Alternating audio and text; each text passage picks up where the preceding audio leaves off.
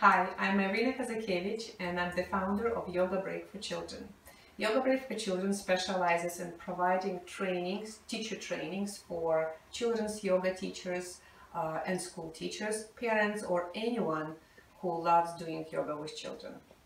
Uh, today, we're gonna share with you our favorite breathing technique, back-to-back -back breathing.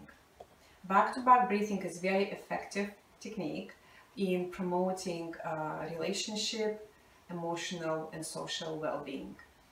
When you do back-to-back -back breathing, you can't help but being uh, acutely aware of another breathing, living human being. So it promotes generosity, caring, compassion, understanding and love.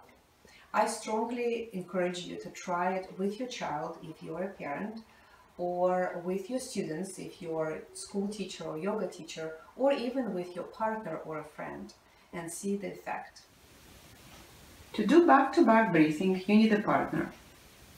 Sit on the floor in any comfortable position back-to-back -back with your partner. Make sure that your backs are touching all the way, starting from the tailbone to the top of your head. Don't lean heavily on your partner.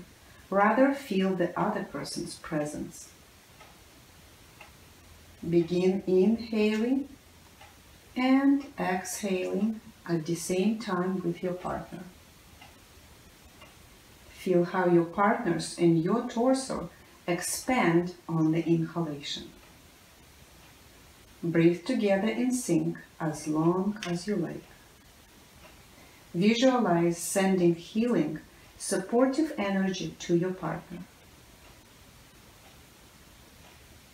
When finished, turn around, place your hands in front of your chest, and gently gazing in your partner's eyes, say thank you for the practice. Thank you.